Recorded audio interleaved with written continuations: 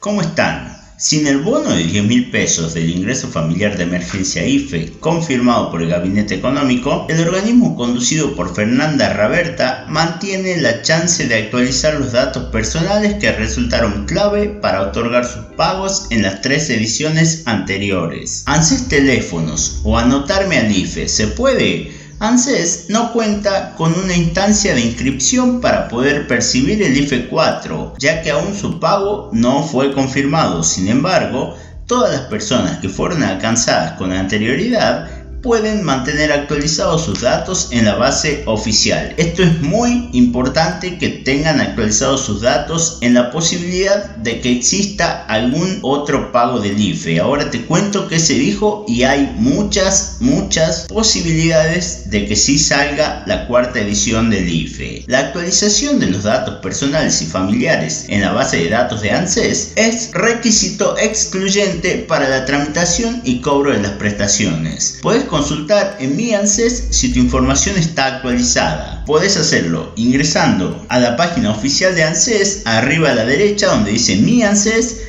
Coloca tu quill y tu clave de seguridad social. Ahí en la parte derecha arriba hay un icono de un teléfono fijo. Ingresa y verifica que tus datos estén actualizados. De todas formas, Aquí arriba te voy a dejar un video donde te enseño a mantener actualizados tus datos, pero aún no te vayas. Ahora escucha si vuelve el IFE. En diálogo con Crónica HD, el ministro de Desarrollo Social, Daniel Arroyo, destacó por las limitaciones de la circulación, mucha gente va a tener dificultades para trabajar, sobre todo por el transporte público. Y antes ese panorama van a evaluar la situación y tomar medidas necesarias. El IFE, que llegó a 9 millones de personas divididas en tres realidades, por un lado, hay 3 millones de personas que volvieron a la actividad y otras que no se recuperaron de su situación y otras tres con problemas muy importantes. Esto puntualizó el funcionario nacional. Quiere decir que desde el gobierno saben que en la población existe muchas necesidades por lo que es muy posible, como le decía, que puedan llegar a pagar el IFE, aunque todavía no está confirmado por ningún medio. Pero es importantísimo que tengan sus datos actualizados. Eso es todo amigos. Olviden suscribirse, darle me gusta y seguirnos en Facebook. Les mando un saludo. Chau chau.